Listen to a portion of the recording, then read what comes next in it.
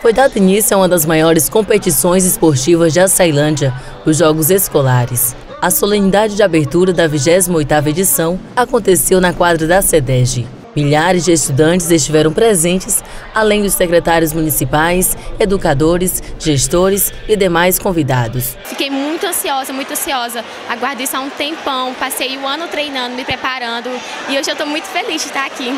Durante a abertura aconteceram apresentações das delegações escolares, do Clube de Desbravadores e da banda de fanfarra da Escola Lourenço Galete.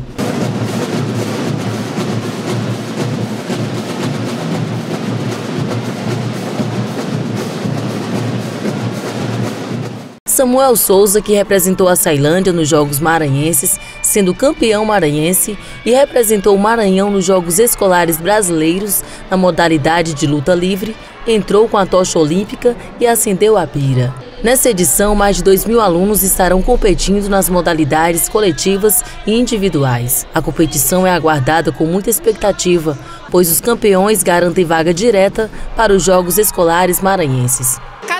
A gente se surpreende com a quantidade de atletas que procuram né, os jogos escolares para participar. Né? Então a gente fica muito feliz e agradecida né, com a quantidade de atletas que se inscreveram no, no, na, na, nossa competição, né, que é o GES. Jogos Escolares Maranhenses. Enoi Brito, secretário de Desporto e Juventude, destacou que os Jogos Escolares são de extrema importância.